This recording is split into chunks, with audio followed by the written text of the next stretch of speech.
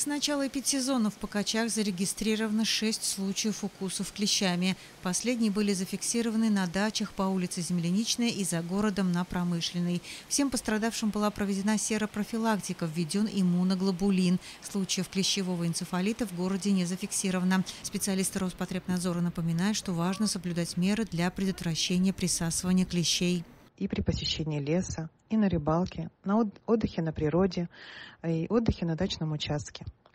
Во время пребывания в лесу необходимо носить головной убор и закрытую одежду, которая плотно прилегает к телу.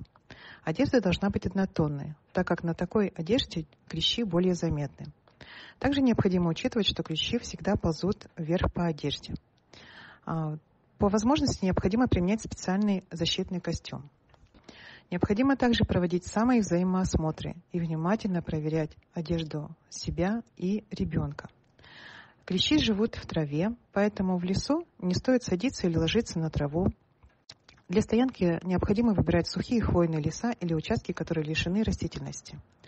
Необходимо также применять репелленты. Эффективность и безопасность данных препаратов зависит от соблюдения рекомендаций по способам их применения, которые указаны на этикетке.